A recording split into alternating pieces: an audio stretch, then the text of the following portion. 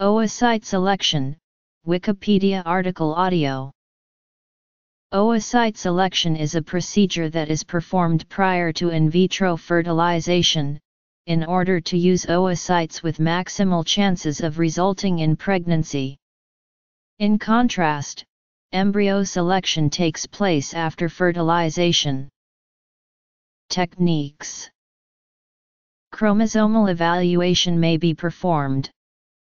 Embryos from rescued in vitro matured metaphase II oocytes show significantly higher fertilization rates and more blastomeres per embryo compared with those from arrested metaphase I oocytes. Also, morphological features of the oocyte that can be obtained by standard light or polarized light microscopy. However, there is no clear tendency in recent publications to a general increase in predictive value of morphological features.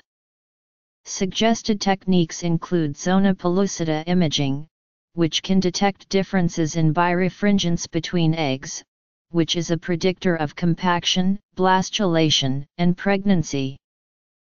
Potentially, polar body biopsy may be used for molecular analysis, and can be used for pre-implantation genetic screening.